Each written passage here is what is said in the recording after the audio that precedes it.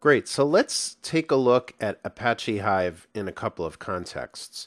Right now, I have a Linux based virtual machine running right here, and it's got the full Cloudera distribution with Apache Hadoop CDH version 4 installed. Uh, I have this virtual machine on the network, so it has an IP address which on my local network is 192.168.1.188. And because of that, I can actually talk to it from my regular web browser from, from my Windows PC. And the Cloudera distribution of Hadoop has a whole browser based user interface uh, for many of the Hadoop components, including Hive. In fact, the Hive user interface in Cloudera is called Beeswax. And that's exactly what we're running here. This is the beeswax UI for Hive. And what I'm going to do is just run a couple of simple queries. I've actually saved a couple of these queries so you don't have to watch me type them. We're going to start with a simple query against a table called sample underscore 07. And all we're going to do is a straight select star, meaning bring back all the rows from the table. Now, if I go ahead and hit execute, you'll see that data actually comes back very quickly. Part of the reason it comes back quickly is because I've run it already, so things are somewhat cached. But the more important factor is by doing a select star, we are telling Hive it can simply bring back the contents of the entire file. It doesn't really have to do any work, it just has to dump the file.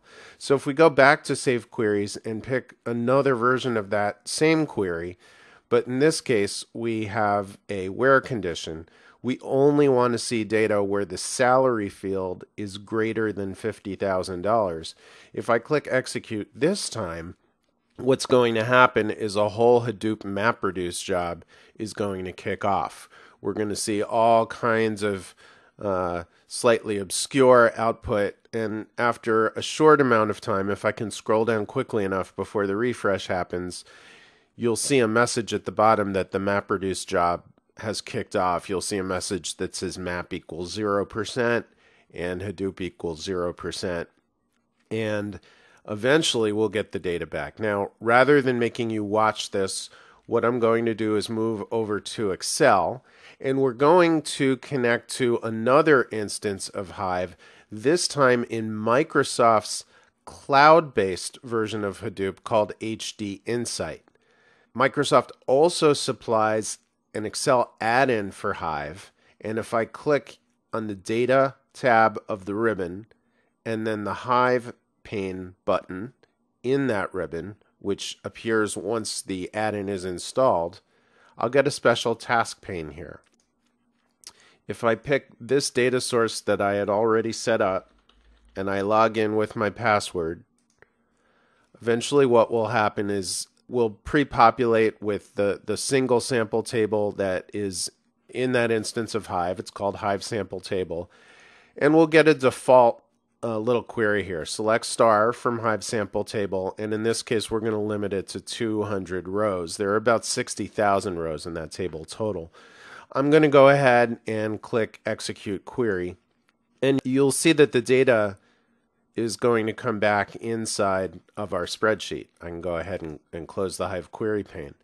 Now, what's neat about this, we're in version 2013 of Excel, which has a built in data visualization product called PowerView. And PowerView previously was only built into SharePoint, number one. And number two, could really only work against data that was uh, added to a Power Pivot model or an analysis services model. In effect, by bringing this data into the spreadsheet, we've implicitly created a Power Pivot model in the background, which means that if I go into the Insert tab and then click the Power View button, I'm going to see a data model already produced with a single table in it that mirrors the data in the table we just pulled into sheet one. And that's this table right here. Now, it pre-selects a bunch of fields for me, which is considerate of it, but it's not really what I'm interested in. I just want to pick two fields, the device platform and the query dwell time. I want to resize this a bit, say like that. And let's move this from being a, a grid with text-based data to being a column chart. That'll update itself in a moment. Then I'll click down below it and we'll do another visualization. This time we'll do device make and query dwell time. We're going to move this down here. We'll resize it. We'll set it up to be a line chart. So what I'll do now is bring in state as a filter.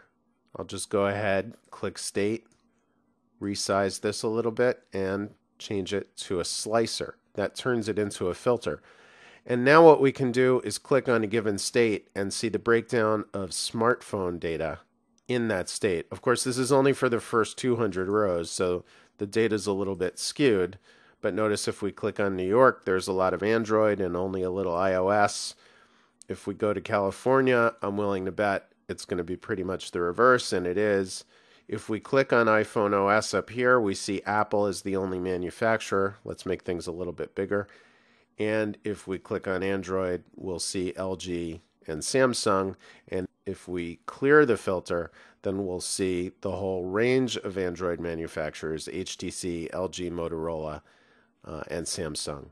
So that is a great demo of why Hive can be useful it lets us take business intelligence and data visualization tools that we might be familiar with against more conventional databases, and it makes them usable against Hadoop. By the way, if we flip back over to the browser, you'll see that the data did come in from our SQL query. But what you'll also see is that a relatively simple query like that has some lag time, has some overhead.